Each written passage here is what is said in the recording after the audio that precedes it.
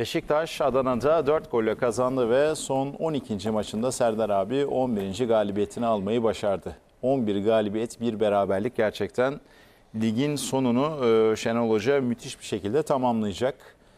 E, tabii hoca daha önce olsaydı olmasaydı bu konulara da geliriz. Ama önce bir maçla başlayalım. Çünkü Adana Demirspor Beşiktaş maçına kadar iç sahada 16 maç, 12 galibiyet, 4 beraberlik. İlk defa bir iç saha maçı kaybetti ki Mayıs ayının son günlerinde unutmayalım yani. Böyle bir takımı Beşiktaş kendi sahasında 4 golle mağlup etti.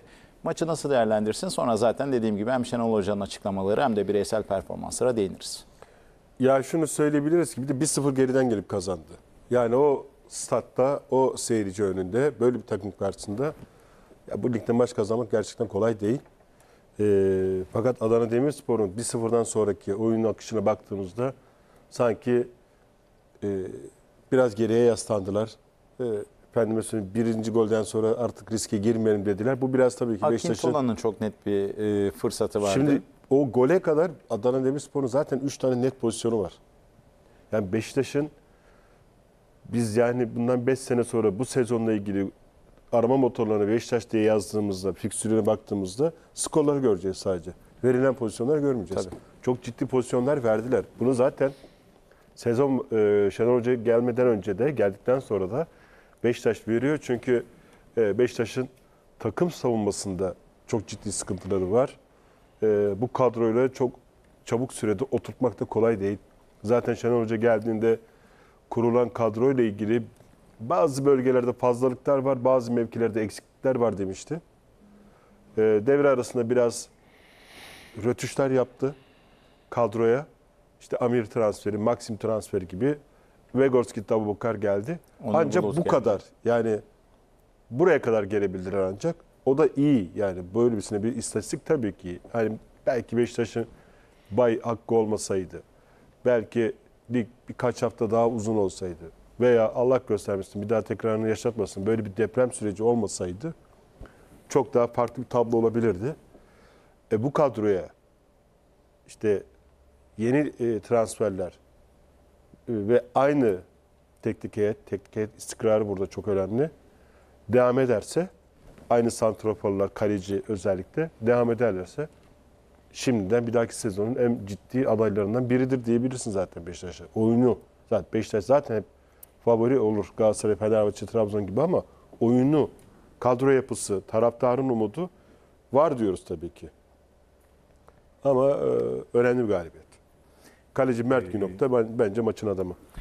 Evet, kesinlikle çok e, önemli bir galibiyet, değerli bir galibiyet. Hocam siz maçı nasıl değerlendiriyorsunuz? Çünkü bu sezon hiçbir takımın çıkamadığı Adana deplasmandan Beşiktaş hem de 4 golle çıkmayı başardı.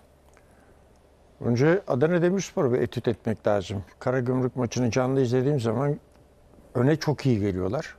Fakat kaptırdıkları toptan sonra Ndiaye'nin haricinde o e, aksiyonu fazla yapan yok. Adana'nın da en büyük sıkıntısı o Demirspor'un.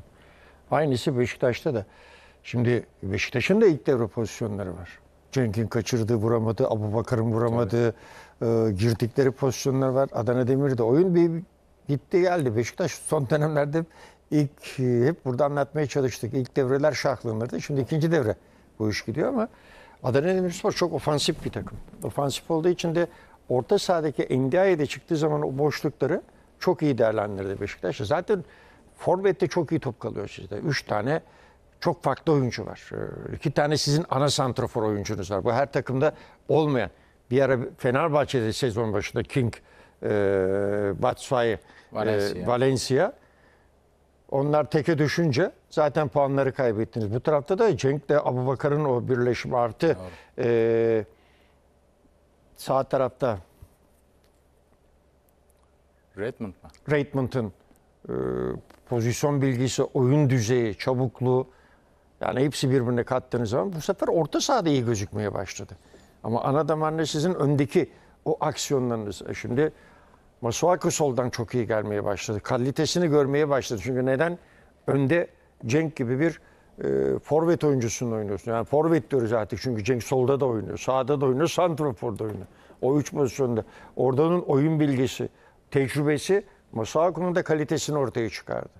Ondan evvel Enkudularla falan oynamaya başladı. Ne yaptığı belli değildi ama Cenk sizi toparlayan ve oyun içinde katkı sağlayan forvetti. E, Abu Bakar'ın golcülüğü, Cenk'in golcülüğü hepsi birbirine katlanınca e, Beşiktaş'ta tutulmaz o. Sağdan çok iyi geliyorlar. Rossi de oynasa, Onur da oynasa orasını çok iyi. Salih çok farklı bir, bir misyon üstlenmeye başladı. E, Getson'un da sadece karşılayan e, veyahut da belli bir dönem bu pozisyonda oynayan değil daha çok ofansif yönünde orta sahanın olması gereken e, yani nasıl Avrupa'da o oyunda o 6 numara falan bizde söyleniyor. O tarzda olmayan oyuncular var. Oyunu iki yönlü oynayanlar. Onu da oynaması bu sefer e, Beşiktaş'a daha çok ivme kazandırdı. Dün Jesson'un attığı gol e, sezon boyunca Beşiktaş taraftarlarının Jesson'un atmasını beklediği, hayal ettiği türden bir goldü. Şimdi Ömerciğim çoğu Jetson'u biz çok fazla farklı bir düşündük. Yani bizde şöyledir. Aynısı mesela Torreira var. Belli bir alanda oynar. Aa karşılayan dersiniz ama Avrupalı onu kabul etmiyor. Avrupalı oyunu iki yönlü oyunları kabul ediyor. Daha fazla rakip ceza sahasına giren, arayan, araştıran, pozisyonu üreten. Onun için siz Avrupalılarda başarılı olabilirsiniz ama belli bir pozisyonda olduğunuz zaman sadece karşılayan olursunuz. O da bizde kabul görüyor mu? Görüyor. Ama bu sefer siz oyunu ne, ne mesela e, ben hep bunun örneklerini vermişimdir. City'de mesela şey İlkay Dortmund oynadığı zaman sadece belli bir bölümde oynadı. Bu sefer daha farklılıklara geldi artık. Oyunu iki yönlü oynamaya başladı. Daha çok rakip ceza sahasına alanına girme ve pozisyonları itmeye ve oynatmaya. Artık kalmadı öyle pozisyonda kalan ha ben alayım karşılayayım oynayayım yana vereyim öne vereyim. Onlar bitti artık. Oynayamıyorsanız zaten Avrupa'da işiniz olmuyor sizin.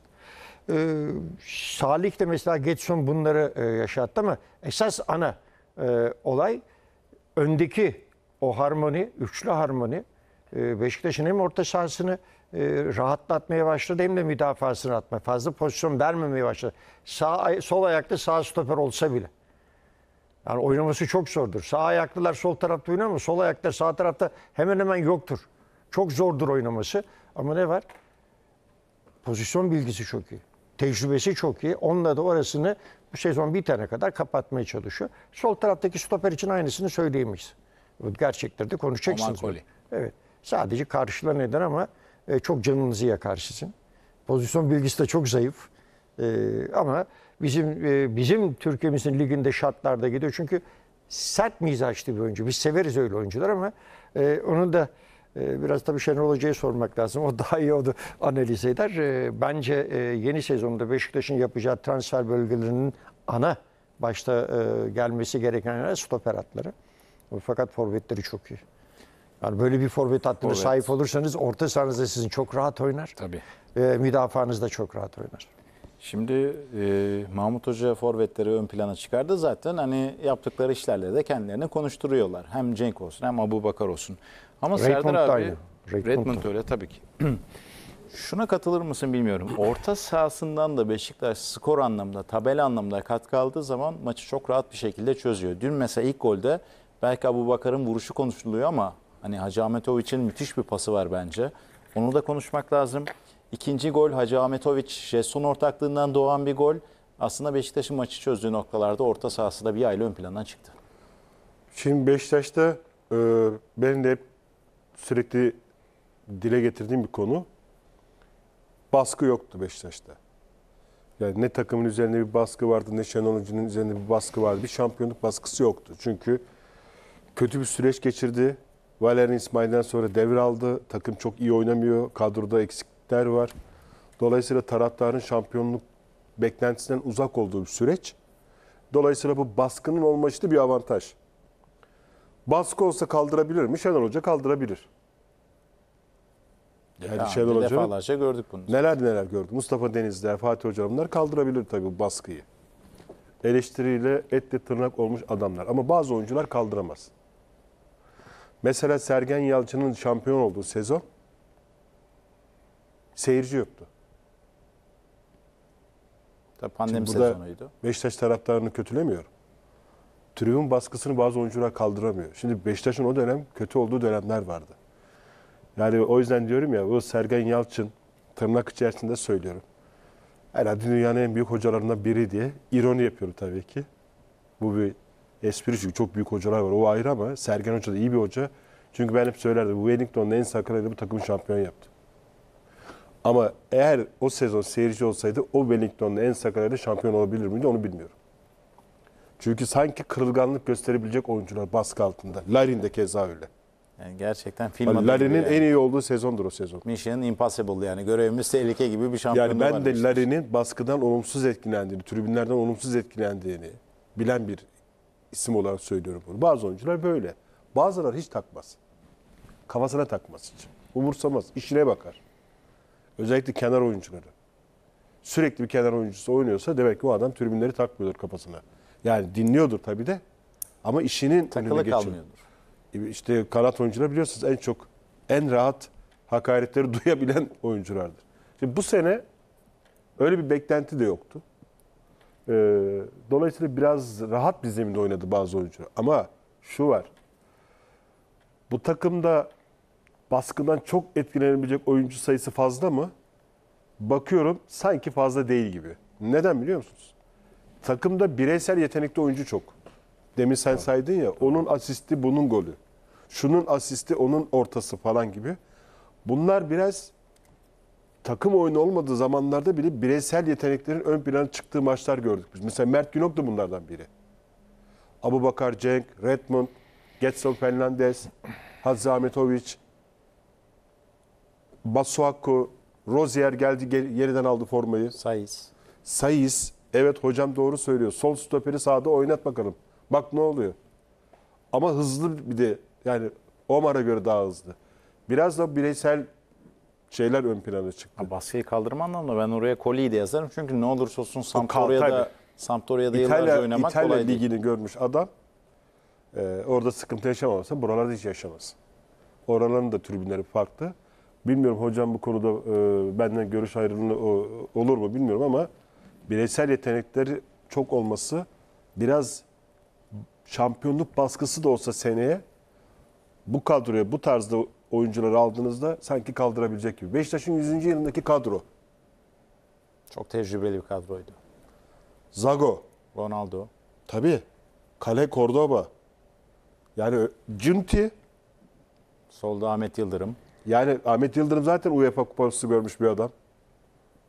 Dolayısıyla bazen takımlar kurar, takım kurulurken hani tamam idealist hocalarla, genç çocuklarla bir takım kurup yetiştirmek, üretmek falan kabul ama Mahmut Hoca'nın hep söylediği için ben söylüyorum. Ya tecrübeli oyuncular arasında genç oyuncular yetişir. Genç oyuncusu fa- fazla olduğu zaman olmuyor. O Ajax'da olur. Orada bile fazla Hayır, oluyor. İşte bak Ajax, e, tecrübeli oyuncu oynatıyor ya. Şimdi öyle bir yanılgı olmasın ama insanlarda. yok yani. yok Ajax bir ara bir genç nesil yakaladı. Alt, alt Light'ların falan oynadığı O 2000'de Lyon'un Adana'ların o. Lyon'un içinden geçen Ajax var ya 5 milyon euroya kuruldu. Ajax'ın altyapısında öyle değil mi hocam? Final e, Kuruldu finalde bile kaybetti. ya. yani yetiştiler. Aşağıdan geldiler yetiştiler. Ama şu var hocamın dediği doğru. Genç oyuncuları en iyi yetiştirebileceğin yer Türkiye'de. Tecrübeli oyuncuların olduğu yerde bir iki tane oynatırsın. Yani Bayern Münih de mesela e, Lewandowski'nin yerini farklı almadı. Kendi altyapısından çıkardı. Genç oyuncuyla oynuyor. Öyle. Yani milli takıma da çıktı. Şampiyonada da Bak oynattı. bazen Musiala. bak be- Evet. mesela Arsenal onun şeyini yaşadı bu Arsenal'in kadrosu City kadrosuna göre daha tecrübesiz ama Genç, bir genç, diri mi diri, oyuncular mı hepsi oyuncular. Ama tecrübe çok daha farklı bir şey. O e, genç oyuncuları gene Şener Hoca'nın tarzındaki takımları biliyoruz. Ama araya bir iki tane genci de öyle serpiştirebilirsin. Demek ki bu ülkede de böyle idealist hocalarla, genç kadrolarla olmuyor. Olur da sabır yok, zaman yok. Öyle bir tö- toleransı hiçbir O uzun kulübe vadeli. göstermezler. Uzun vadeli olur. İki sene, Onu, sene onu sonra şöyle yapabilirsin. alırsın. İşte bu ülkenin rezerv ligi olsa onu altyapıda yapabilirsin. Altyapıyı ayrı bir şirket gibi yönetirsin.